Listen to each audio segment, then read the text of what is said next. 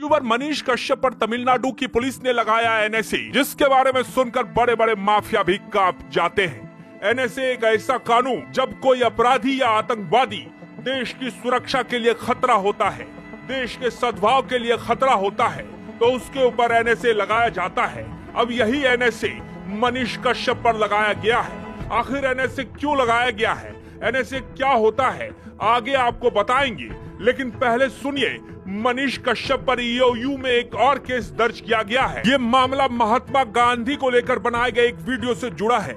सुनिए इस पुराने वीडियो में मनीष कश्यप महात्मा गांधी को लेकर क्या कह रहे हैं। हम लोग गांधी के मौत पे हम लोग जश्न मनाते हैं। हम लोग अब अब अब अब वो डर खत्म। भारत मनीष कश्यप अपने इस पुराने वीडियो में बापू के लिए अपशब्द कह रहे हैं।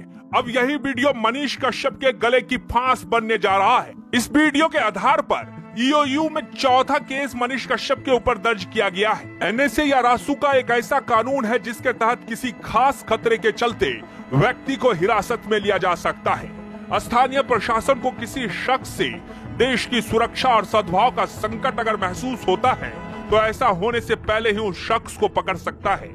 यह कानून प्रशासन को किसी व्यक्ति को महीनों तक हिरासत में रखने का अधिकार देता है। इस कानून को 1980 में देश की सुरक्षा के लिए सरकार को ज़्यादा शक्तियाँ देने के लिए जोड़ा गया था।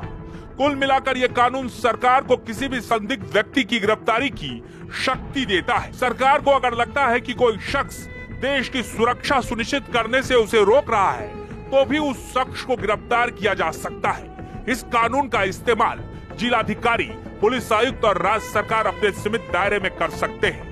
अगर सरकार को लगे कि कोई व्यक्ति बिना किसी मतलब के देश में रह रहा है और उसे गिरफ़्तार किए जाने की ज़रूरत है तो सरकार उसे भी गिरफ़्तार करवा सकती है हम लोग अब अब अब अब वो डर खत्म खत्म। भारत का खत्म। कहाँ जाएगा एक को मारोगे तुम लोग करते हो ना और जगाते हो हाँ। लूटन का खत्म याद रखना हाँ, करिए, जितना करोगे ना हाँ। उतना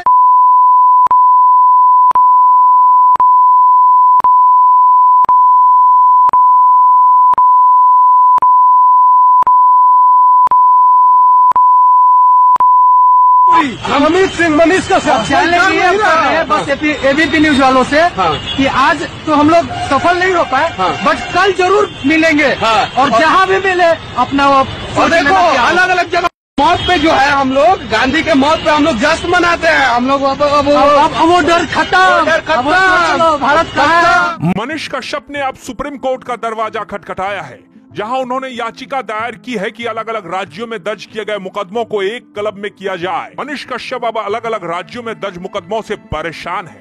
वो इससे राहत के लिए सुप्रीम कोर्ट पहुँचा है। याचिका फ़ाइल की गई है, जिसमें मनीष कश्यप की जमानत और साथ में बिहार राज्य में जो उन पर ऊपर केस दर्ज हुए, तमिलनाडु में दर्ज हुए, और भी पता नहीं कहाँ कहाँ दर्ज हुए उनके खिलाफ केस तो उन सब केसों को क्लब किया जाए, एंटरिम बेल दी जाए और जस्टिस हो, क्योंकि मनीष राज्य शासन प्रशासन की तरफ़ से अन्याय हुआ और मनीष कश्यप ने पूर्वांचल के लोगों की, बिहार के लोगों की, बिहार के मजदूरों की आवाज़ को उठाने का काम किया, जो उनके साथ तमिलनाडु में हुआ, और केवल उन्होंने नहीं मेन स्ट्रीम मीडिया ने भी इस बात को उठाया था लगातार। लेकिन जो भी कार्रवाई हुई, वो मनीष कश्यप के खिलाफ इस तरह से जो कार्रवाई हुई, वो गैर कानूनी है, और मनीष कश्यप के मूल अधिकारों का हनन है। इस बाबत मूल अधिकारों की रक्षा का काम और माननीय सर्वोच्च न्यायालय क्योंकि दो राज्यों का भी मामला हो गया है एक काज ऑफ़ एक्शन एक बात पर एक स्टेटमेंट पर एक सोशल मीडिया कश्यप की तरफ़ से याचिका फ़ाइल की गई है। मनीष कश्यप की मुश्किलें और बढ़ गई हैं। तमिलनाडु पुलिस ने मनीष पर एनएसए के तहत कार्रवाई की है। इस, इससे पहले बिहार में मनीष पर केस दर्ज किया गया था। मनीष को फेक वीडियो पोस्ट करने के मामले में गिरफ़्तार किया गया था। आरोप है कि तमिलनाडु में बिहार के प्रवासी मजदूरों पर कथित हमले के फर्जी वीडियो शेयर किए थे। बीते दिनों बिहार से तमिलनाडु तक बवाल मच गया था। दरअसल तमिलनाडु में बिहार के मजदूरों पर हमला किए जाने का वीडियो सामने आया था। यह मामला सुर्खियों में आने के बाद नीतीश कुमार की सरकार ने जाँच करवाई, जिसमें पता चला कि मजदूरों पर कोई हमला नहीं हुआ। इस मामले के बीच मनीष कश्यप नाम के शख्स की चर्चा काफ़ी हुई। 6 मार्च को यूट्यूबर मनीष सहित चार लोगों के खिलाफ केस दर्ज हुआ था। हमारे चैनल सब्सक्राइब करो।